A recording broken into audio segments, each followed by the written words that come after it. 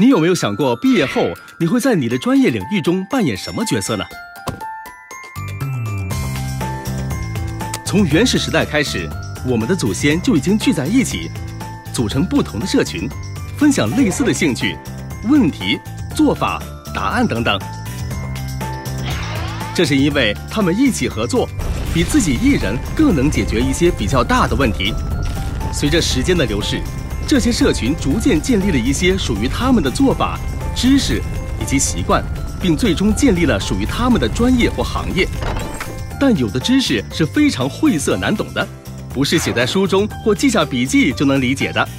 有时候要亲身经历才能找到并理解这些知识。而这种情况恰恰解释了为何人们说毕业之后才是学习的开始。一开始的时候，你可能像个菜鸟一样，在一旁观察不同的专业有何不同特点及做法。之后，你会和不同的人交流互动，就是这种交流让你了解这个专业的文化、做法、知识和习惯。到你对这个专业有了全面的了解以后，你会有自己的想法和做法，你会逐渐积累经验，成为这个专业的重要一员。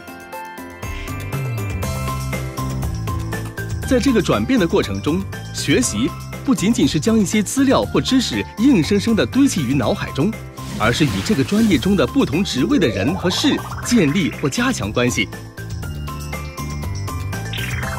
现在有许多不同的组织都向你提供了不同的机会，让你得以与一些重要的专业人士直接沟通。相信这是十分有益于你的学习的。